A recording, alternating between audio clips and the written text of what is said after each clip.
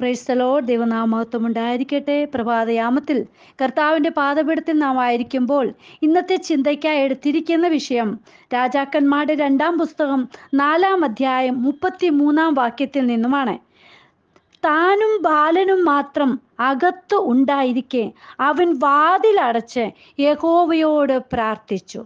പ്രിയരെ ഇവിടെ യഹോവയോട് വാതിലടച്ച് പ്രാർത്ഥിച്ചത് എന്താണ് നാം ഉൽപ്പത്തി പുസ്തകം ഏഴാം അധ്യായം പതിനാറാം വാക്യത്തിൽ നോഗ പെട്ടകമുണ്ടാക്കി അതിൽ കയറേണ്ടുന്നവയെല്ലാം കയറിയതിനു ശേഷം യഹോവയായ ദൈവം വാതിൽ അടച്ചു എന്ന് നമുക്ക് വായിക്കുവാൻ കഴിയുന്നുണ്ട്. അതായത് അകത്തു വരേണ്ടുന്നവർ അകത്തു വന്നതിന് ശേഷമാണ് വാതിൽ അടയ്ക്കുന്നത്. ഇവിടെ വാതിൽ അടച്ചത് എന്തിനാണ്? ആ സന്ദർഭം എന്താണ് എന്ന് നമുക്കൊന്ന് നോക്കാം.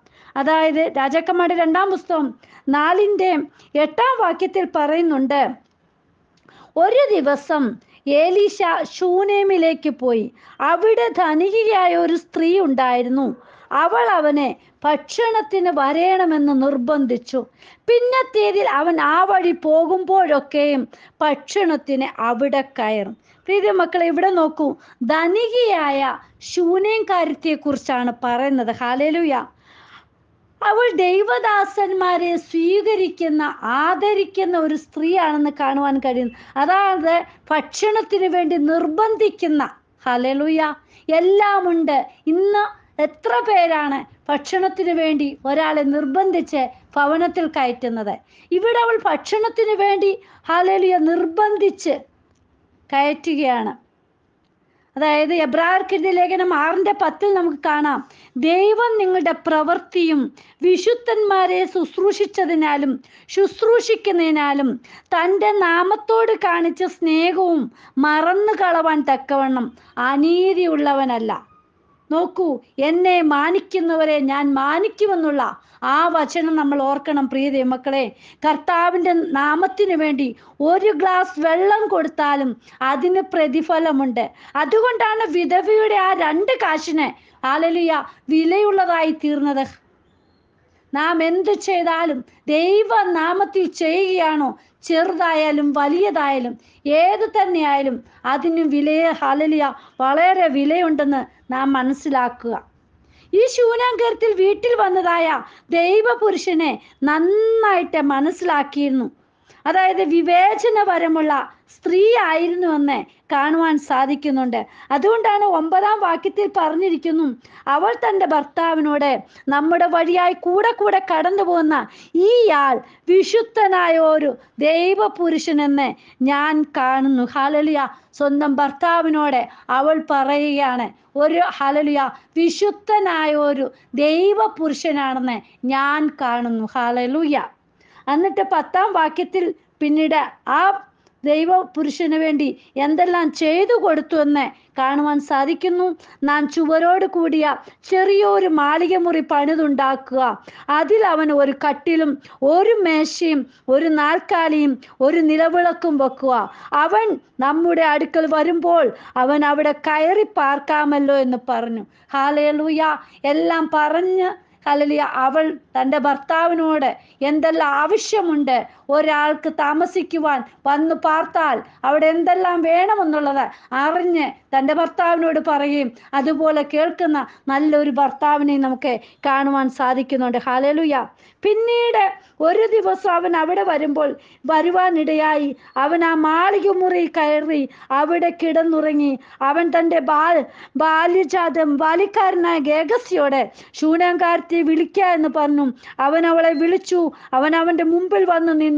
അവൻ അവനോട് നീ ഇത്ര താല്പര്യത്തോടൊക്കെ ഞങ്ങൾക്ക് വേണ്ടി ഹലലി കരുതിയല്ലോ. നിനക്ക് വേണ്ടി എന്തു ചെയ്യണം? ഹലലിയ പ്രിയമക്കളെ ഇത്ര താല്പര്യത്തോടൊക്കെ ഹലലിയ ഞങ്ങൾക്ക് വേണ്ടി കരുതിയപ്പോൾ ഞങ്ങൾ നിനക്ക് എന്തു ചെയ്യണം? ഹലലുയ എന്നിട്ട് അവൾ പറയുകയാണ് ഞാൻ സ്വജനത്തിന്റെ മധ്യേ വസിക്കുന്നു എന്ന് നിങ്ങൾ അറിയുന്നു. ഹലലുയ പ്രീതിമക്കളെ നമ്മൾ മറ്റുള്ളവരുടെ മുമ്പിൽ വസിക്കുമ്പോൾ ഒരു കുടുംബമാകുമ്പോൾ അവിടെ എന്തെല്ലാം വേണമെന്ന്. അതിന്റെ ശൂന്യതകൾ എന്തെല്ലാമാണെന്ന് മനസ്സിലാക്കുവാൻ കഴിയും. ഹലലിയ ഒരു കുടുംബം നയിക്കുമ്പോൾ ഹലലിയ തലമുറകൾ വേണം. പ്രീതിമക്കൾ ഇവിടെ ആ തലമുറയുടെ അഭാവം കാണുവാൻ കഴിയുന്നുണ്ട്. അതുകൊണ്ട് ഒമ്പ നമ്മൾക്ക് പതിനാലാം വാക്യത്തിൽ കാണുന്നുണ്ട്. ഹാലലൂയ എന്നാൽ അവൾക്ക് വേണ്ടി എന്തു ചെയ്യുമെന്ന് അവൻ ചോദിച്ചതിന് ഗേഗസി അവൾക്ക് മകനില്ലല്ലോ അവളുടെ ഭർത്താവ് വൃദ്ധനുമാകുന്നു. പ്രീതിമക്കളെ ഹാലലുയ അസാധ്യങ്ങളെ സാധ്യമാക്കി തരുന്ന ദൈവം ഇന്നും പ്രവർത്തിക്കുന്നു. നാം വിശ്വസിച്ചാൽ മതി ഹാലലിയ പതിനാറാം വാക്യത്തിൽ കാണുന്നുണ്ട് വരുന്ന ആണ്ടിൽ ഈ സമയം ആകുമ്പോ- ആകുമ്പോഴേക്ക് നീ ഒരു മകനെ അണച്ചുകൊള്ളും ഹാലലുയ പലപ്പോഴും നമുക്ക് സാധ്യമല്ലാത്ത കാര്യത്തിന്മേൽ ദൈവപ്രവൃത്തി വെളിപ്പെടും പ്രിയത മക്കളെ പലപ്പോഴും വാക്തത്വങ്ങൾ നമ്മോട് പറയുന്നത് വിശ്വസിക്കാൻ കഴിയാത്ത വിധത്തിലായിരിക്കും. നമ്മുടെ ദൈവത്തിന് തെറ്റ് പറ്റില്ല ഹാലലിയ വാക്ക് പറഞ്ഞാൽ ഇന്ന് ചിലപ്പോഴൊക്കെ ഹാലലിയ സന്ദർഭത്തിനനുസരിച്ച് നാം വാക്കുകൾ മാറ്റി പറയും പക്ഷേ നമ്മുടെ കർത്താവ് അങ്ങനെയല്ല ഹാലലിയ പതിനേഴാം വാക്യം നമുക്ക് കാണാൻ സാധിക്കുന്നുണ്ട്. ആ സ്ത്രീ ഗർഭം ധരിച്ച് പിറ്റയാണ്ടിൽ ഏലീശ അവളോട് പറഞ്ഞ സമയത്ത് തന്നെ ഒരു മകനെ പ്രസവിച്ചു എന്ന് ഹാലേലുയ പിന്നീടാണ് കാണുവാൻ സാധിക്കുന്നത് ഹാലലു എന്തു പറ്റി? ആ കുഞ്ഞിന് എന്താണ്? എങ്ങനെയാണ് എല്ലാ കാര്യങ്ങളും? അതിൽ പറയുന്നുണ്ട് ഹാലലുയ പത്തൊമ്പതാം വാക്യത്തിൽ കാണാൻ സാധിക്കുന്നുണ്ട്. അവൻ അതായത് ബാലൻ വളർന്നപ്പോൾ ഒരു ദിവസം അവൻ കൊയ്ത്തുകാരോടുകൂടെ ഇരുന്ന് തന്റെ അപ്പന്റെ അടുക്കൽ ചെന്നു. അവൻ അപ്പനോട് എന്റെ തല എന്റെ തല എന്ന് പറഞ്ഞു. അവനൊരു ബാലിക്കാരനോട് ഇവനെ എടുത്ത് അമ്മയുടെ അടുക്കൽ കൊണ്ടുപോക എന്ന് പറഞ്ഞു. അവൻ അവനെ എടുത്ത് അവന്റെ അമ്മയുടെ അടുക്കൽ കൊണ്ടു ചെന്നു അവൻ ഉച്ചവരെ അവളുടെ മടിയിൽ ക- ഇരുന്ന ശേഷം മരിച്ചുപോയി. പ്രീതമക്കളെ ഹാലലുയ ആ കുഞ്ഞിനെ പിന്നീട് അവൾ എന്ത് ചെയ്തു എന്ന് നോക്കുക പ്രീതമക്കളെ അപ്പോൾ അവൾ കയറി ചെന്നവനെ ദൈവപുരുഷന്റെ കട്ടിലിന്മേൽ കിടത്തി വാതിലടച്ച് പുറത്തിറങ്ങി. പിന്നെ അവൾ തന്റെ ഭർത്താവിനെ വിളിച്ചു ഞാൻ വേഗത്തിൽ ദൈവപുരുഷന്റെ അടുക്കലോളം പോയി വരേണ്ടേനെ. എനിക്കൊരു ബാലിക്കാരനെയും ഒരു കഴുതയും അയച്ചു തരണമേ എന്ന് പറഞ്ഞു. അതിന് അവൻ ഇന്ന് നീ അവന്റെ അടുക്കൽ പോകുന്നത് എന്തിനെ? ഇന്ന് അമാവാസ്യല്ല ശബത്തുമല്ലല്ലോ എന്ന് പറഞ്ഞു. പ്രീതിമക്കളെ ഹാലലുയ ആവശ്യങ്ങൾ അറിയുന്ന കർത്താവ്. എവിടെ നാം പോകേണ്ടമെന്ന് അറിയുന്ന കർത്താവ്. ഹാലലുയ നമ്മെ അയക്കേണ്ടുന്നിടത്ത് അയക്കു ഹലലിയ ഇവൾ ഹലലിയ പിന്നീട് ഹലലിയ ആ എലിഷയുടെ അടുക്കലേക്ക് പോകുന്ന സന്ദർഭമാണ്. മരിച്ചു ആ തന്റെ കുഞ്ഞിനെ ആ കട്ടിലുമേൽ കിടത്തിയിട്ട് ഹലലിയ എലിഷയുടെ അടുക്കൽ ചെന്നപ്പോൾ എലീശ ഹലലിയ ദൂരെ നിന്ന് തന്നെ അവനെ കണ്ടു. അവളെ കണ്ടു ഹലലുയ എന്നിട്ട് നമുക്ക് കാണുവാൻ സാധിക്കുന്നുണ്ട്. എലീശ വീട്ടിൽ വന്നപ്പോൾ തന്റെ കട്ടിലുമേൽ ബാലൻ മരിച്ചു കിടക്കുന്നത് കണ്ടു. താനും ബാലനും മാത്രം അകത്തുണ്ടായിരിക്കെ. അവൻ വാതിലടച്ച് യഹോവയോട് പ്രാർത്ഥിച്ചു. അവളുള്ള കാര്യങ്ങളെല്ലാം പറഞ്ഞു. ഞാനൊരു കുഞ്ഞിന് വേണ്ടി ഞാൻ പ്രാർത്ഥിച്ചിരുന്നില്ലല്ലോ. ഞാൻ ചോദിച്ചിരുന്നില്ലല്ലോ. നീ തന്നെയല്ലേ തന്നത്. ഹാലലൂയ അതെല്ലാം ഇടയ്ക്കുള്ള വാക്കുകൾ നമ്മൾ നോക്കുമ്പോൾ കാണുവാൻ സാധിക്കുന്നുണ്ട്. ഇരുപത്തി എട്ടാം വാക്യത്തിൽ പറയുന്നുണ്ട് ഞാൻ യജമാനനോട് ഒരു മകനെ ചോദിച്ചിരുന്നുവോ? എന്നെ ചതിക്കരുത് എന്ന് ഞാൻ പറഞ്ഞ് പറഞ്ഞില്ലയോ എന്ന് അവൾ പറഞ്ഞു. ഹാലലുയ പ്രീതി മക്കളെ പലപ്പോഴും കുറവുള്ള കുറ്റങ്ങൾ വരുമ്പോൾ നമ്മൾ മറ്റുള്ളവരിലേക്ക് കുറ്റങ്ങൾ ചാരുവാനിടയായിത്തീരും ഇവിടെയും അതുപോലെ തന്നെയാണ് ചെയ്തത്. അവൾ ഹാലലിയ ഞാൻ ഇതുവരെ ചോദിച്ചില്ലല്ലോ. പിന്നെ നീ തന്നെയല്ല തന്നത്. ഹാലലുയ അങ്ങനെ പറഞ്ഞ് ഏക ഹലലിയ എലീഷ ഹലലിയ അവിടെ ചെല്ലുകയും അവിടെ വേണ്ടുന്നതാ ഇവിടെ പറഞ്ഞല്ലോ. വാതിലടച്ച് യഹോവയോട് പ്രാർത്ഥിച്ചു. പിന്നെ അവൻ കയറി ബാലന്റെ മേൽ കിടന്നു.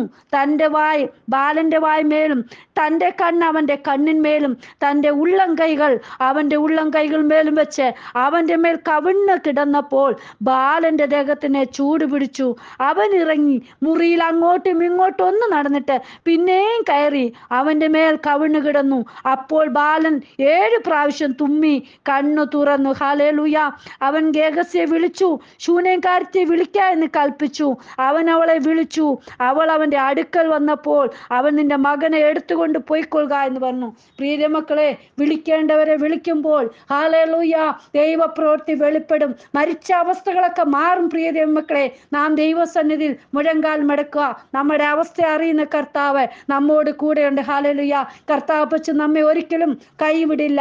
നമുക്ക് തരേണ്ടത് തരും. നമ്മെ അറിയുന്ന അപ്പച്ചൻ നമ്മോട് കൂടെയുണ്ട്. നമുക്ക് പ്രാർത്ഥിക്കാം. കർത്താവ് അങ്ങയുടെ കരങ്ങളിലേക്ക് ഇന്ന് വചനം കേൾക്കുന്ന ഓരോ മക്കളെ സമർപ്പിക്കുന്നപ്പ. ഉള്ളത് പോലെ അറിയുന്ന അപ്പനാണ്. ഹാലേലൂയ ഹാലേലൂയ വല്ല നഷ്ടമായ രീതിയിൽ ആയിപ്പോയാൽ കർത്താവ് അപ്പച്ച ഉള്ളതുപോലെ കൊണ്ടുവരുന്ന അപ്പച്ചനാണ്. ഹാലേലൂയ എന്ന് വചനം കേൾക്കുന്ന ഓരോ മക്കളുടെ ജീവിതത്തിൽ വലിയ വിടുതൽ ഉണ്ടാകുവാൻ ദൈവം സഹായിക്കണമേ. യഹോവയോട് പ്രാർത്ഥിക്കുന്ന അനുഭവം എല്ലാവരുടെയും ജീവിതത്തിൽ ഉണ്ടാകുവാൻ സഹായിക്കണം. പ്രാർത്ഥന കേട്ടതിനായി സ്തോത്രം. യേശു അപ്പച്ചൻ അനുഗ്രഹിച്ചതിനായി സ്തോത്രം. യേശുവിന്റെ നാമത്തിൽ തന്നെ. Amen. God bless you all. ബിരുവജു Mumbai. Hallelujah സ്തോത്രം